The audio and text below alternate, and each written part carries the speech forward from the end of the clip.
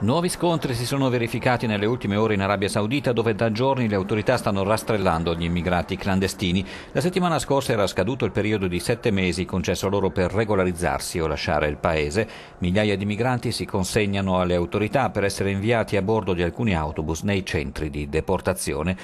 Secondo le autorità saudite, sabato scorso avevano perso la vita due migranti e un cittadino saudita in scontri tra clandestini autoctoni nel quartiere povero di Manfuha, a sud di Riyadh, abitato maggioritariamente da immigrati. Un paio di giorni dopo, nello stesso quartiere, si registrava la morte anche di un sudanese.